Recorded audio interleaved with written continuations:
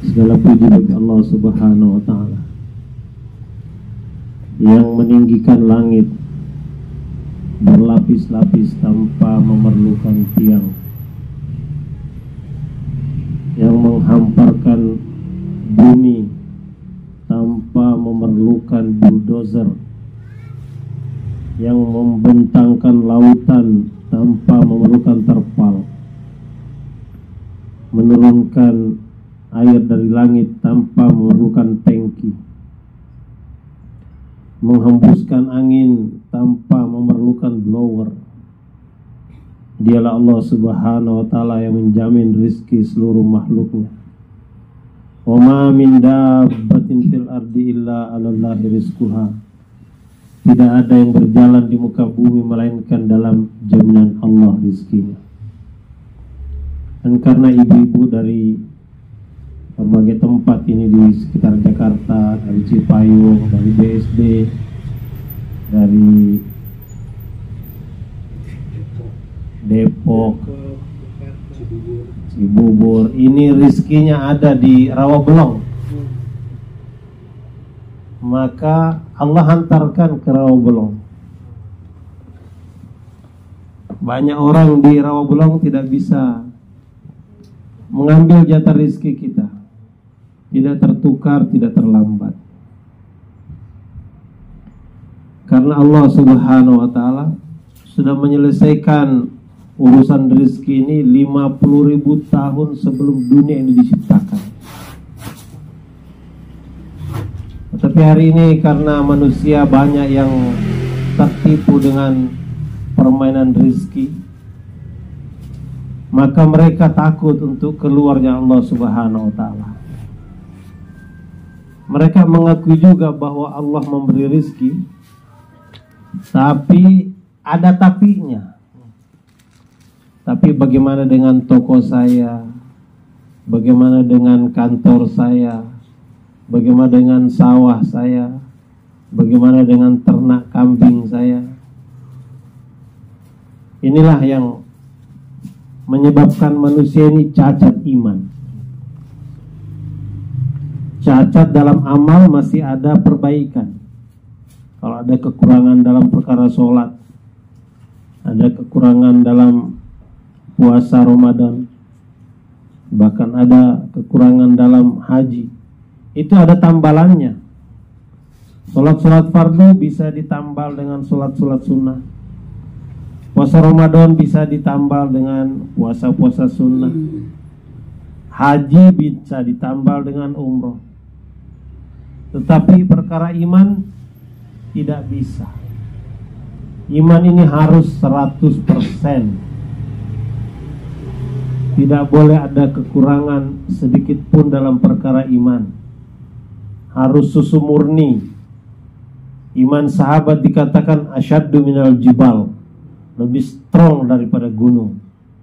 Layar tab, tidak ada keraguan. Walayal bisu, tidak ada campuran sama sekali. Inilah iman yang diterima Allah subhanahu wa ta'ala. Inilah iman yang dikehendaki oleh Allah subhanahu wa ta'ala. Karena itu usaha kita. Hari ini yang paling berharga itu adalah usaha atas iman. Dan ini pula usaha para sahabat dan sahabat dahulu. Ini pula sahabat para nabi alaihissalatu wassalam. Inilah usahanya para rasul, para ulul azmi. Usaha atas iman, usaha atas kalimat la ilaha illallah. Keyakinan akan perkara ini yang harus ditancapkan ke dalam hati sanubari. Tidak boleh ada kintu kata orang Bangla. Kintu artinya bat, artinya lakin, artinya tetapi. dalam hubungan dengan Allah Subhanahu wa taala harus yakin 100% bahwa hanya Allah yang bisa berbuat selain Allah tidak bisa berbuat.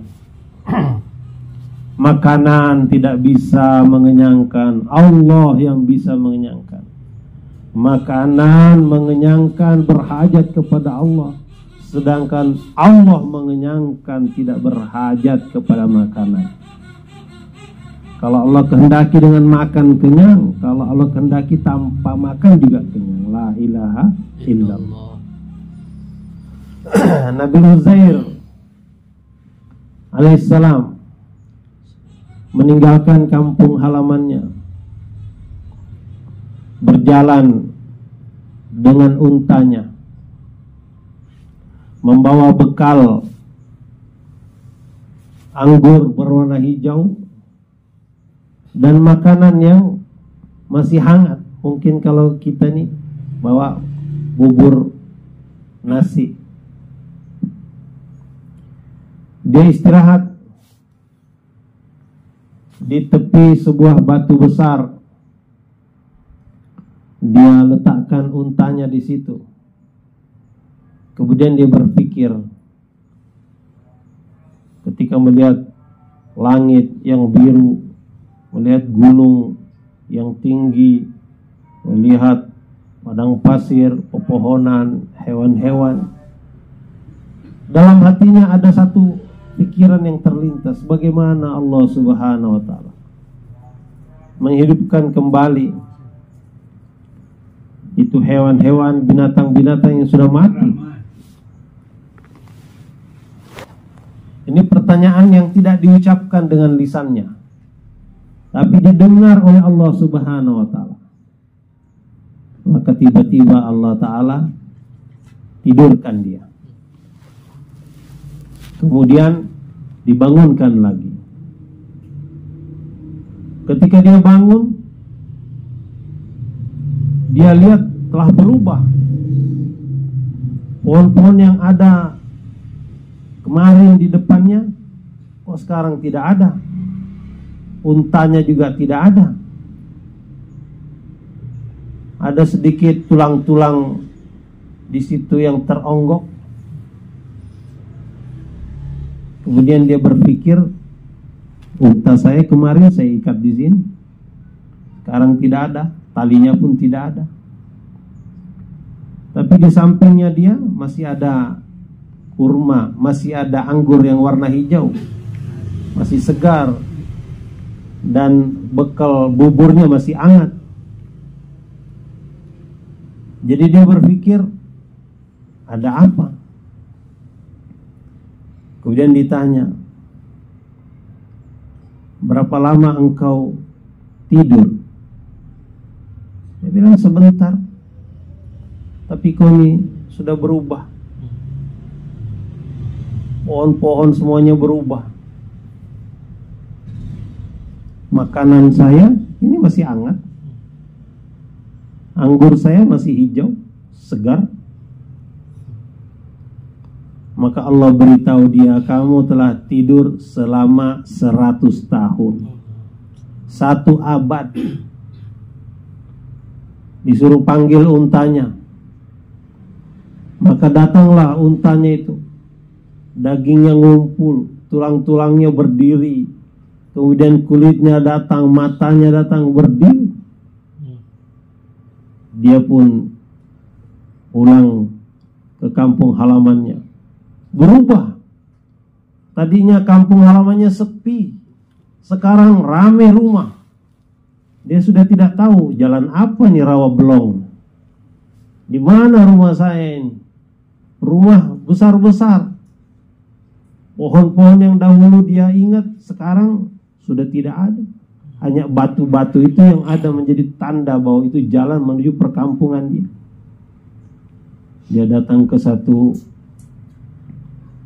rumah yang dia ingat-ingat. Sepertinya ini rumah saya, tapi kok jadi mau ambruk seperti ini. Kemudian ada satu orang nenek-nenek. Nenek-nenek ini mengenali dia. Hei Uzair, hei Uzair. Loh, siapa kamu nek? Loh, aku ini fulana. Kamu telah menghilang begitu lama. Loh, fulana. Kamu bukannya anak kecil dulu sekarang kok kamu jadi nenek-nenek. Begitulah kuasa Allah Subhanahu wa taala. Dia yang berkuasa mutlak atas segala sesuatu. Atas waktu, atas tempat, atas rezeki. Semua di dalam genggaman kuasa Allah Subhanahu wa taala. Keyakinan bahwa hanya Allah yang bisa berbuat. Selain Allah tidak bisa buat apa-apa nih. 100% harus masuk dalam hati kita. Ketika Allah subhanahu wa ta'ala Menciptakan Adam alaihissalam Para malaikat itu melihat. Ketika diciptakan matanya Malaikat tahu Ini alat untuk melihat.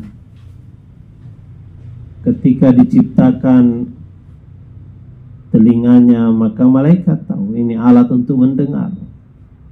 Diciptakan mulutnya malaikat tahu ini alat untuk berbicara.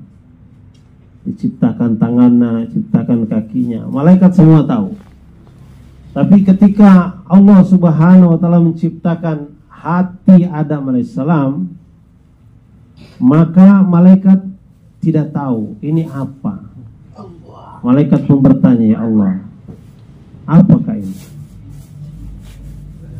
Kalau semua ciptaan engkau yang tadinya kami lihat, kami paham kegunaannya.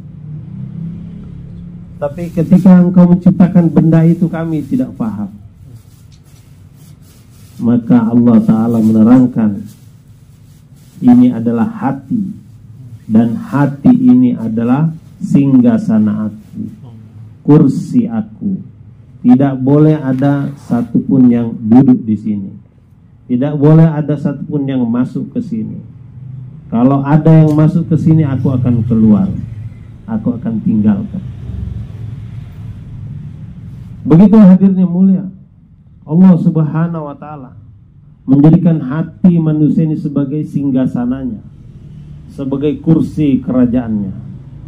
Tidak boleh ada satupun yang masuk ke sana. Dan hati ini hadirnya mulia satu yang sangat unik.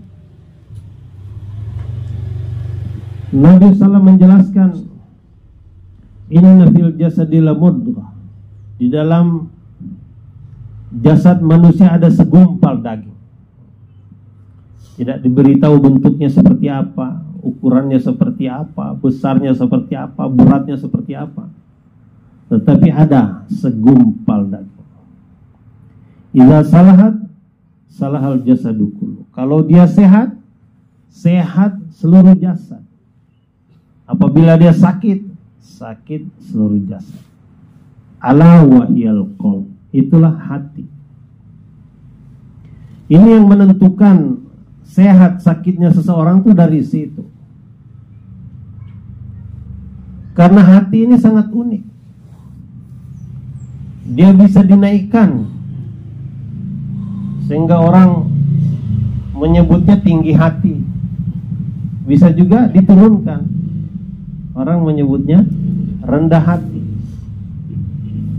Bisa dibesarkan. Namanya besar hati. Bisa dikecilkan juga. Namanya kecil hati. Ini yang sangat unik bisa terpeleset. Hingga jatuh. Namanya jatuh hati. Bisa luka, luka hati, bahkan bisa patah, patah hati.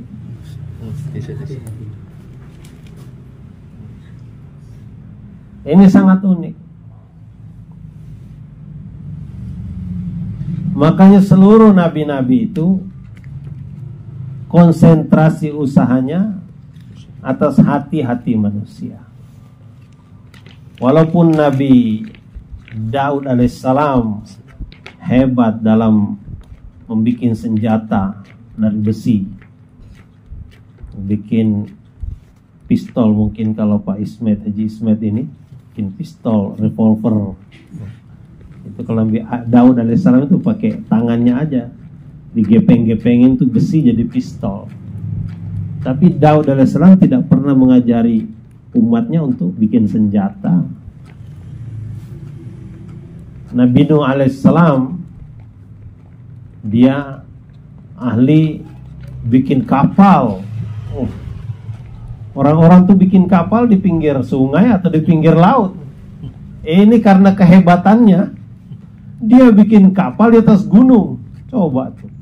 Insinyur mana yang menerima akalnya bikin kapal di atas gunung? Itulah hebatnya Nuh alaihissalam. Dan kapal Nuh alaihissalam itu isinya itu selain manusia, semua jenis binatang masuk ke dalam sana. Harimau ada di sana, singa di sana, serigala di sana, jerapah di sana, gajah ada di sana. Sepasang-sepasang lagi. Masturo-masturo mereka.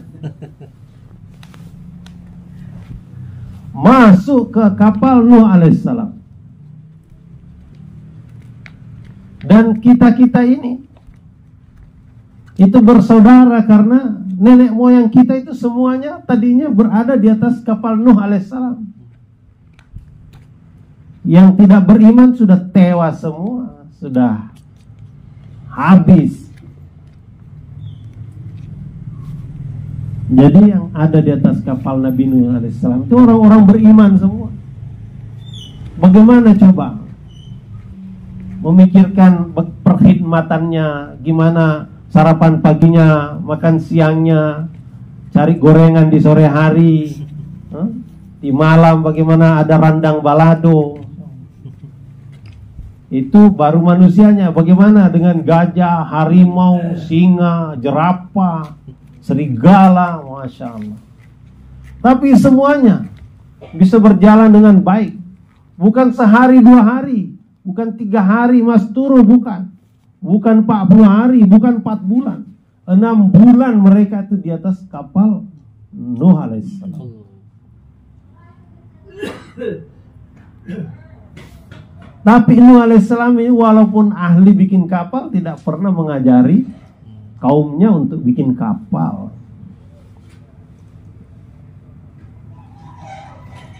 Nabi Isa alaihissalam ini ahli pengobatan. Dikatakan bahwa di zaman Nabi Isa alaihissalam sistem pengobatan begitu dahsyat, begitu hebat sehingga dokter-dokter waktu itu walaupun belum kenal kalonji tapi mereka kehebatannya sudah luar biasa dokter berada di lantai dua rumahnya. Ada orang iseng. Katanya dokter ini sangat terkenal, pandai memberikan resep. Makan resepnya itu pasti sembuh. Terkenal di mana-mana. Maka ada orang iseng. Dokter ini nggak kelihatan. Ketika ada orang sakit, orang itu berteriak dari bawah kolong rumahnya. Orang ini membawa sapi yang kurus, bukan orang, karena memang ingin menguji kehebatan dokter ini. Maka ketika sapinya dibawa ke sana, diam-diam dia berteriak, "Aku sakit!" maka diulurkan talinya dari atas. Kalau sekarang mungkin namanya stetoskop. Tali diulur dari atas, ditempelkan di perut sapi. Maka tidak lama kemudian dilempar kertas dari atas. Tulisannya berikan makan rumput yang banyak. Jadi kalau orang berpikir ini orang, bagaimana orang mau dikasih makan rumput tadi? Dan memang sapi. Saking hebatnya ilmu kedokteran waktu itu. Nabi alaihissalam orang buta bisa melek, bahkan orang mati hidup lagi. Tetapi Isa alaihissalam tidak mengajarkan pengobatan kepada kaumnya. Semua nabi-nabi Ini mengajarkan kepada kaumnya perkara iman. Yang terakhir datang baginda Rasulullah sallallahu alaihi wasallam. Siang dan malam Nabi datangi kaumnya berdakwah kepada kaumnya ya kaum ibadullah malakum min ilahin ghairu wahai kaumku sembahlah Allah tidak ada Tuhan selain dia. Nabi datang kepada setiap orang. Ya ayuhan nas la ilaha illallah tuflihu. Wahai manusia ucapkan la ilaha illallah kalian akan percaya. Nabi SAW ditemani seorang istri yang sangat solihah Kaya raya lagi. Dikatakan dua per tiga kekayaan penduduk kota Mekah itu berada di tangan Siti Khadijah. Kalau kekayaan penduduk kota Mekah itu ada 3000 triliun, maka 2000 triliun itu ada di tangan Siti Khadijah. Kalau kekayaan penduduk Mekah itu ada 3000 ekor unta, maka 2000 ekor unta itu milik Siti Khadijah. Tapi Siti Khadijah habiskan habiskan hartanya untuk mendukung suaminya mendakwahkan agama. Harta yang begitu banyak, bagaimana menghabiskannya begitu cepat? Lebih kurang hanya dalam tempo 12 atau 13 tahun di Mekah. Banyak orang yang tidak menyadari ternyata habisnya harta Siti Hadijah itu untuk makan-makan, jalan-jalan. Orang Kamboja katakan beng-beng, pek-pek, makan-makan, jalan-jalan. Jadi orang-orang Makkah itu setiap hari ditraktir makan oleh Siti Khadijah, diundang makan, diundang makan, potong unta, potong sapi, potong kambing, lama-lama habis.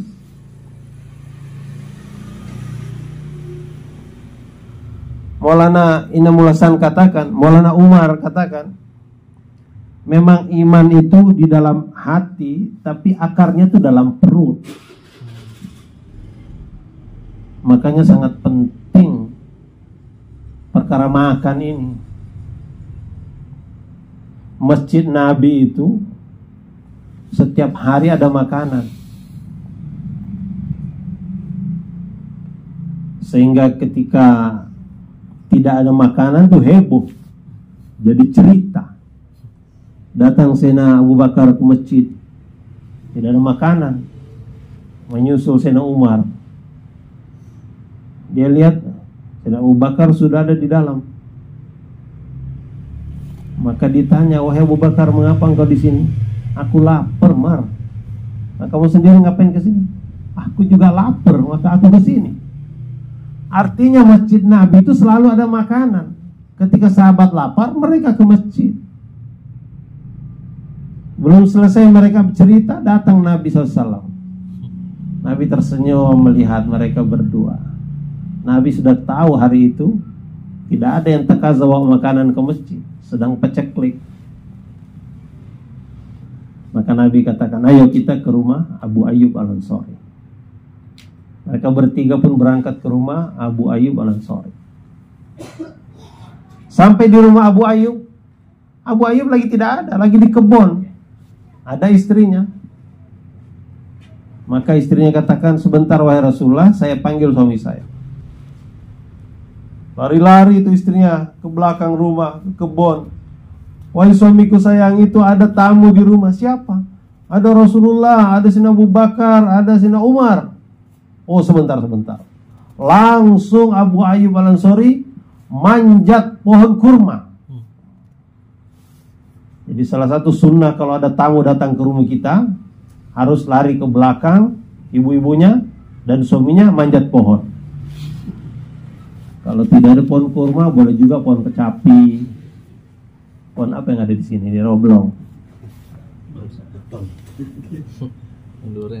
Pohon duren juga boleh. Itu sunnah.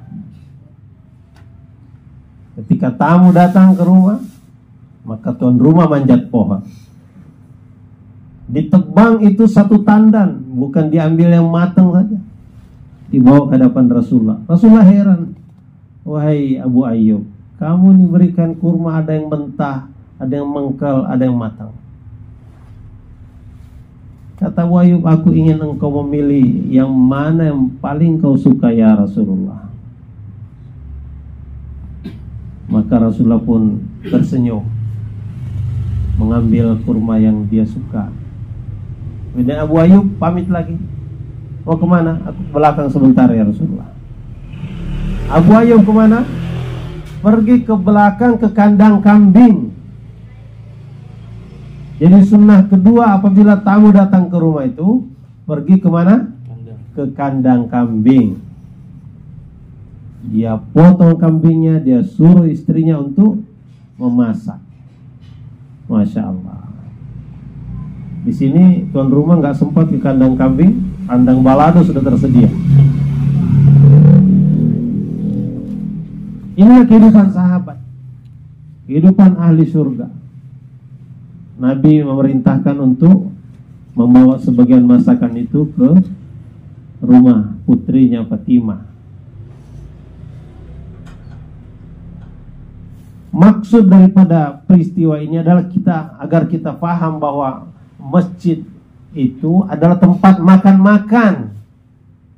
Bukan hanya tempat sholat. Dan siapa yang membawa makanan ke masjid itu adalah kaum laki-laki tapi siapa yang memasak? Itu kaum perempuan. Hari ini banyak kaum perempuan tidak memahami betapa dahsyatnya amalan memberi makan orang-orang yang berada di masjid. Ulama sampaikan satu suap makanan dimakan oleh tamu Allah itu pahalanya haji dan umroh yang sempurna. Satu suap makanan. Gimana kalau dua suap? saya kira kita tidak makan dua suap, 20 suap paling sedikit, mungkin 40 suap. Saya lah itu 40 suap minimal. Pahalanya haji dan umroh yang sempurna. Mau pergi umroh itu 30 juta. Ini ada program tanggal 5 Maret nanti siapa yang mau berangkat nanti 30 juta. Itu baru satu suap 30 juta. Kalau 10 suap 300 juta. Kalau 20 suap 600 juta. 40 suap 1,2 miliar.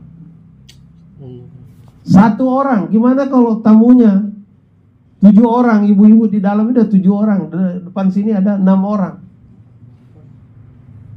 Kaya raya ini tuan rumah. Tapi karena banyak yang tidak paham, maka hari ini masjid-masjid kita itu tidak ada makanan. Sepi. Masjid-masjid yang tidak ada makanan itu tidak mengikuti masjid Nabi tidak menjadi anak cabang masjid Nabi. Kalau tidak menjadi anak cabang masjid Nabi, terus mau menjadi anak cabang masjid apa? Nanti di akhirat masjid-masjid itu akan ngumpul dengan masjid Nabi. Mereka akan saling garguzari. Di saya di tempat saya tersedia cendol, di tempat saya tersedia opor, tempat saya tersedia oh apa itu dari gandum Kita di masjid Agim di Perth sama Abu Zaid. Itu masjidnya kita datang, masya Allah. Di situ tersedia kopi, tersedia teh, tersedia gula, tersedia madu, tersedia susu. Apalagi? Ada lagi teh tarik, teh tariknya ada rasa jahe, ada lagi rasa apa? Ada kulkas. Ini masjid. Tapi hari ini banyak orang yang tidak paham. Siapa yang kirim makanan ke masjid itu? Kaum ibu. Kaum ibu berada di rumah, sibuk dengan amalan-amalannya. Dia tidak mau ketinggalan untuk dapatkan pahala orang-orang yang mengusahakan agama, maka dia kirim makanan ke masjid, dia kirim minuman ke masjid, dia kirim kopi, teh, gula ke masjid. Pahalanya mengalir ke rumah. Ini yang ada di zaman di zaman Rasulullah sallallahu alaihi wasallam. Masjid ini bukan hanya tempat sholat, tapi tempat makan-makan. Sehingga orang yang masuk masjid lapar, tersedia makanan. Orang yang masuk masjid haus, tersedia minuman. Orang yang masuk masjid badannya pegel, tersedia tukang pijit. Bahkan Nabi melihat ada satu orang pemuda masuk masjid masih jomblo, dicarikan jodohnya sama Nabi. Sekarang siapa pengurus masjid yang mikirin jomblo-jomblo ini? Allah. Kenapa? Karena kita ini para dai tidak mau bercerita di masjid. Tidak mau ngasih tahu pengurus masjid. Istri ketua DKM juga datang dalam talim. Istri dai ini nggak ngasih tahu. Suami kamu tuh harus memikirkan janda-janda dan perawan-perawan yang ada di sekitar masjid. Kalau ini dilakukan, insya Allah masjid kita akan makmur. Peranan kaum ibu mengirim makanan ke masjid itu ada di Indonesia setahun sekali hanya pada bulan Ramadan. Tanggal 1 RT 3 tanggal 2 RT 5 dan seterusnya. Padahal pada waktu Ramadan orang makan tuh hanya waktu petang dan waktu sahur. Di luar Ramadan itu 24 jam orang makan. Kenapa di luar Ramadan tidak tersedia makanan?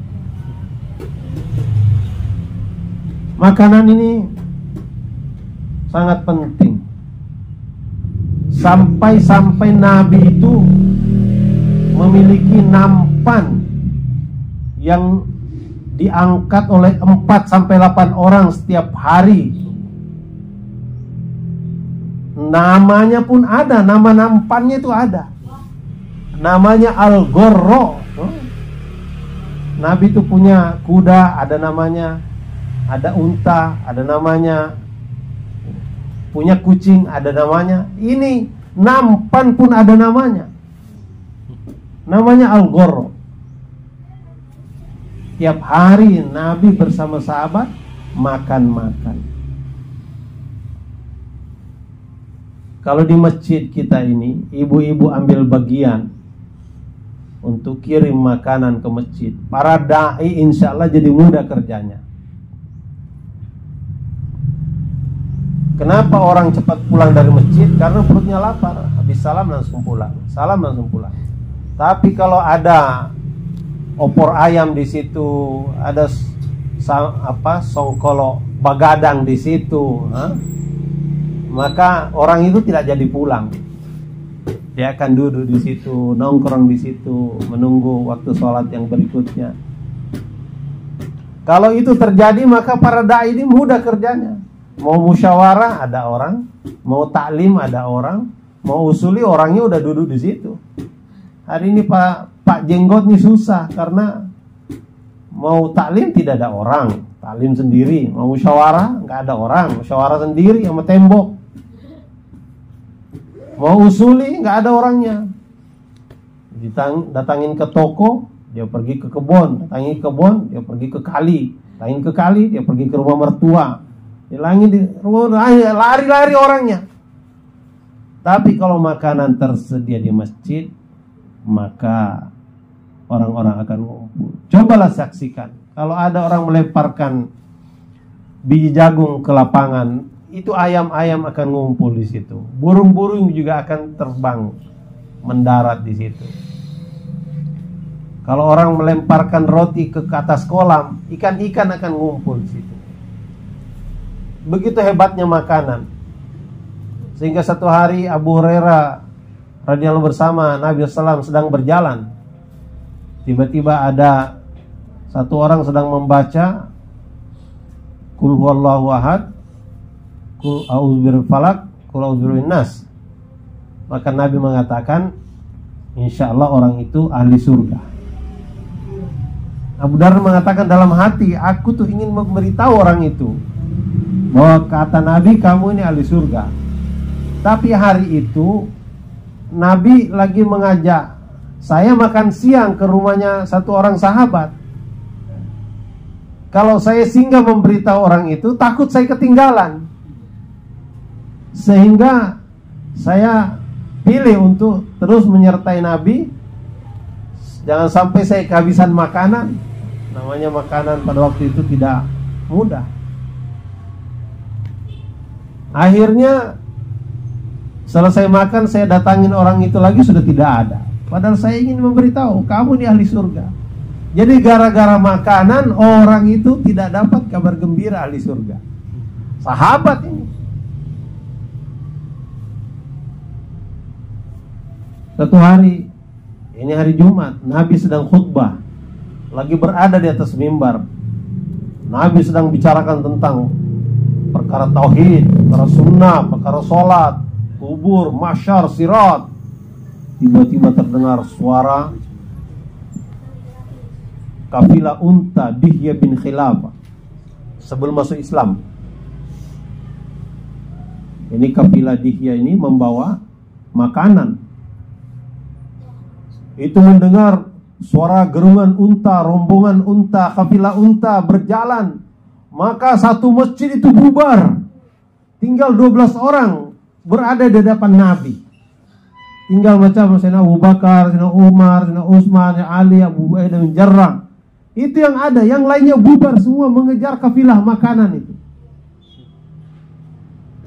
Betapa hebatnya soal makan ini. Sampai Nabi ditinggalkan oleh para sahabat. Padahal mungkin di antara mereka ada yang pernah melihat mujizat Nabi membelah bulan, mujizat Nabi keluar air dari tangan beliau. Tetapi gara-gara makanan bubar itu satu masjid. Maka kalau kita ingin masjid kita makmur, maka peranan ibu-ibu ini sangat diharapkan. Kita kirim makanan ke masjid. Inilah yang dilakukan oleh Siti Khadijah Al-Kubra radhiyallahu Habis hartanya. Senantiasa potong unta, potong sapi, potong kambing untuk menjamu orang-orang agar dekat hatinya dengan hidayah Allah Subhanahu wa taala. Dan inilah menjadikan Siti Hadijah mendapat salam langsung dari Allah Subhanahu wa taala. Habis hartanya untuk perjuangan di jalan Allah Subhanahu wa taala. Habis harta di dunia tidak apa-apa. Tetapi di akhirat ketika masuk ke dalam surga, rumahnya terbuat daripada emas, bertetakan intan berlian, di bawahnya mengalir sungai susu, sungai madu, sungai tawar, sungai arak yang manis. Dan dayang-dayang yang cantik jelita. Itu akan menjadi pelayan ratu-ratu bidadari. Dan yang menjadi ratu-ratu bidadarinya adalah ibu-ibu yang sedang keluar mastur hari ini insyaAllah. InsyaAllah yang belum pernah keluar mastur boleh diajak Yang sudah pernah tiga hari bagaimana meningkat 10-15 hari. Bagaimana sekarang ini kita bersyukur India sekarang sudah buka lagi sudah normal lagi. Maka sekarang taskilanya itu IPB lagi. Bagaimana keluar Rijal maupun Masturo sekarang ke India digalakkan lagi dengan doa dan air mata ibu-ibu ini insya Allah usaha ini akan terus berjalan dan doakan bulan September nanti akan ada Jor Kudama di Cikampek maka bagaimana mengusahakan dari sekarang kita menabung dan kita siapkan suami kita untuk keluar empat bulan yang Allah Subhanahu wa taala. Silakan kita skip. Subhanallah dan subhanakallah. Alhamdulillah.